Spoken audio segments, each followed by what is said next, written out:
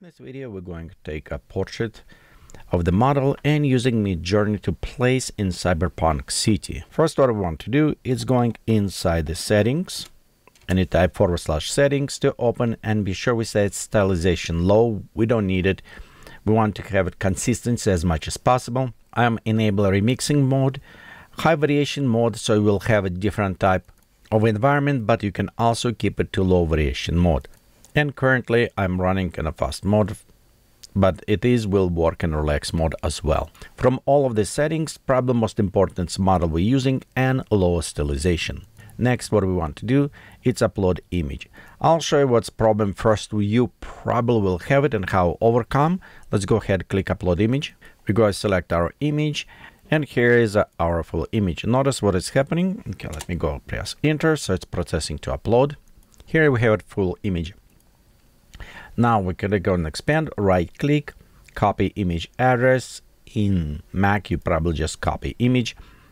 This is what will have full information. At this moment, if I want to go to type imagine, we'll paste our path and we also go ahead and paste what we wanted. It is portrait of the woman cyberpunk city. So just simple nothing. We can also add maybe um 3 by 2 oops. This will give me error because I did not type properly. Let me just copy this one. Imagine and we just have it. 3 by 2 to match our dimensions in this way, most likely variations happen. We won't have it close enough. We will have it same coloring, same everything, but probably portrait won't match. So it's complete. If we preview, you can see definitely faces does not match. It's match some coloring, maybe a little bit on a posing, but not face. The reason is because um, Midjourney need analyze all positions, everything. We need minimize what information is need to work with. For this, we're going inside uh, any editing software. I'm going inside the Photoshop and I'm just going to crop this image right here. And we want to crop just to the face. Don't worry about pose. Of course, if you want to create a pose as well, I'll, we can do this later. But right here, we crop to minimize just the face. It's all what is important. After this, you also probably want to make it square uh, will easy process one by one, but this is face and we want to save. After this, inside the Midjourney, we need go ahead and download it, upload on our server, the port we just save it. Okay, it's take a few seconds till it's processing our upload. The other step I also would recommend is make description of this image. It will help us to put all details. For this, we'll go forward slash and have it describe the new function, we'll go select this. Select same image as before, and we can do portrait. If you want, you can extend different, but for now, we'll just do this one and click enter. Right here, we have multiple um, descriptions as well as the size if we need it, but all what we care about this description on the top. So right now, let's go ahead, click on our first portrait, right click, copy image address. Next, we're going in the prompt, type imagine, paste our um, image. Next, I want to go just copy this path. We have it on the top, space, paste this path, space, and let's go put it IW. It's a stand for image weight. We want to maximum on our image weight, and we'll press enter. Okay, let's look what we have here is our image and we look closer. We definitely have it similar jawline. So it's come very close to this. Of course, you can run several few times and find one that you may like it. But for now, I'm just going using this number three. So I'm going to upscale this image. Next step, I actually want to save this image. For this, let's click open, open in the browser, and we're saving this image. After this, let's go back to our Midjourney And at this point, I want to actually use it blend command. So with the blend, we have a two images. We have more than two, but for this, I want just take an image that we have it and blend a little bit more with original, even add more features because I see the jar maybe does not way match. This way we can receive even better fine tune our face. Okay, so right here we have our image and let's go just press enter. Okay, here's our blend and we can definitely see this one is look like almost perfect. That's what I wanted if we look on his face from different perspective. I think the two is excellent. Let's go ahead, upscale this. Next step, we will going to utilize a new functions. It is a zoom and also panning. So first I want to create a zoom. So for this, I go ahead and click custom zoom. Notice what we have it. We have it images kind of already have it information for us. Before this, actually, I want to go up and maybe copy some information what we have it from our describe. But you remember before we have it full picture. So let's go ahead and same describe on our full image. I'm going to type the command describe and upload our image. Okay, we can just simple drag and drop. Let's press enter. Okay, so right here we have our descriptions.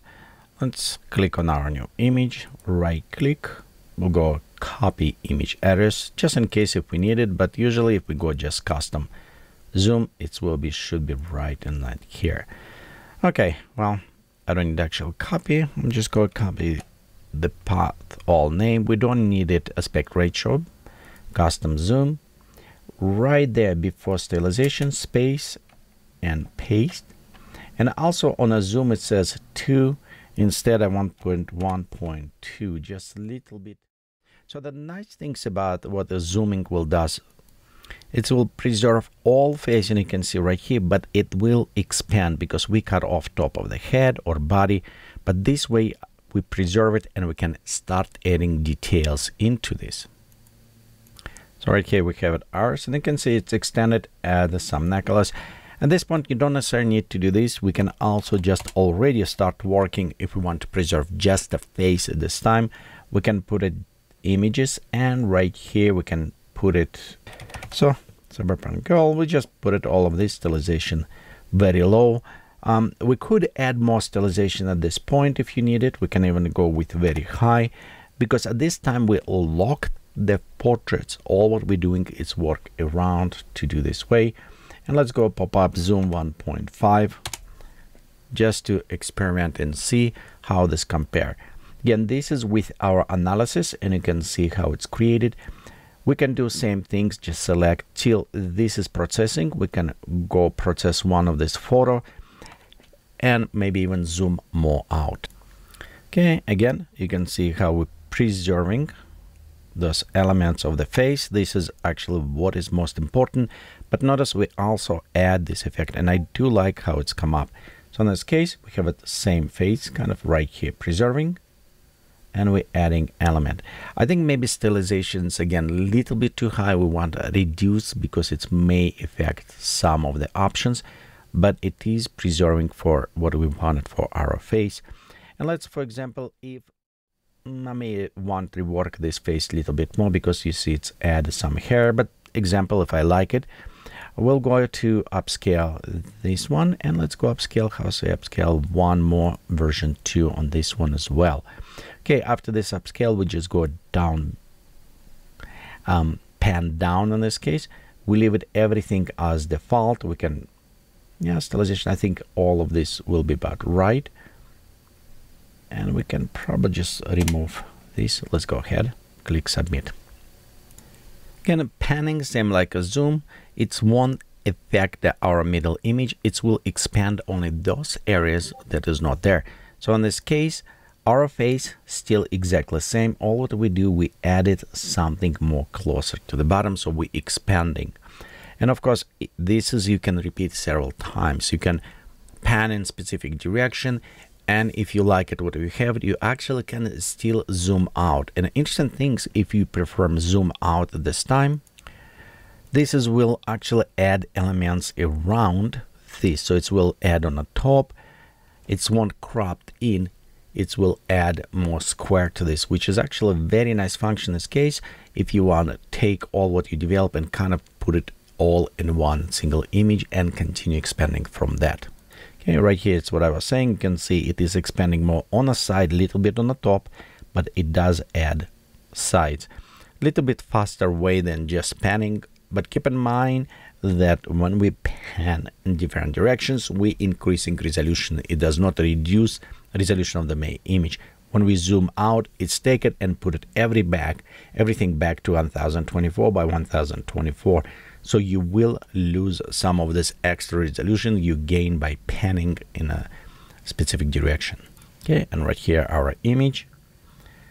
So you can see it's add elements right here. We don't have it. So Let's click on a 2. You can say at this time we have it the same facial on a look up. We can specify what position of head we want to have it, but we are preserving some what elements was before the facial and we applied. Same things we can apply with uh, this image when I upscale. Um, we can pan down and again pan down will work. And we can see woman posing a necklace. Yeah let's go keep it same for now.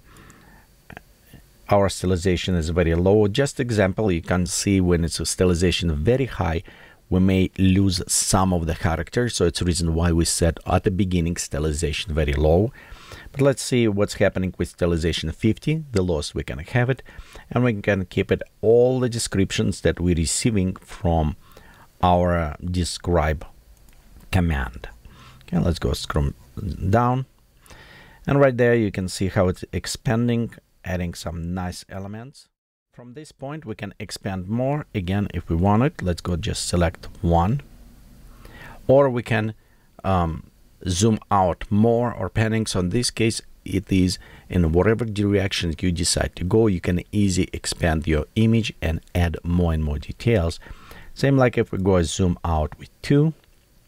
Notice I prefer to use it actually custom zoom because custom zoom it will ask us for remix prompt and that's the reason why we enable the remix before so we can use it this option of windows where we're going inside and we can modify our prompt that we're using just zoom straight on won't necessarily accept our commands and this is whatever command was before it's what what's happening here and here our image, you can see we have it very nicely.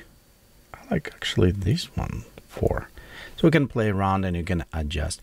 So here's a one way. Another things you can create a more very similar face is by using blending on the same character but different images.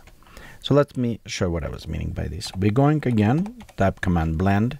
And reason why we're doing this, we need to have this image reference inside that we like it. And from that image, we can expand more and more. And as we're long using same seed and everything that Midjourney created, we will have it same consistency. It's reason why we need to combine and create in Midjourney the image that resemble for us. So right here I have an image of the same model in two different angles. We'll go click blend on this. Well, if you don't have it the two same, you can just take a same image and flip it horizontally. If you do put it same exactly image, the Midjourney says, hey, the image is exactly same, I cannot blend. But if you are even flip them that is will recognize as two different images. So this way you can blend those two images as a one. So this is another little teeny tiny trick. And of course here's a, from our first blending on two models. You can see it's look exactly the same when we do this way. The models look perfectly because it only two images was blending from what we have it. So this way we can use it any of this model. And here is our image that we just flip around and you can see it's the same model look left and right is what we done before. And of course because it is source only two images they will resemble very close to our original model that we put it in. So this is just a small things how you can create it with the blending. The important blending for us because we have now our image that we're going to work. So i'm going upscale like version 4 and from this point I can create whatever I'm interested. For example, I'm going to custom zoom. We'll have it zoom to the maximum and we can put it um, portrait of the cyberpunk girl middle of the neon street you can put it whatever like maybe even steampunk whatever you want it so we'll just go right there. Let me fix my spelling. And here we have it our render. You can preview we have it same exactly face as before and in different backgrounds. And this is also how you can replace backgrounds if you need it. By taking blending images and using them. So hopefully this is tips was helpful for you to ensure the consistency and exactly same image that you're using or portrait you reference inside the Midjourney and based on this you can create another images. Thank you for watching. Please subscribe, give us thumbs up, share this video. I greatly appreciate all yours.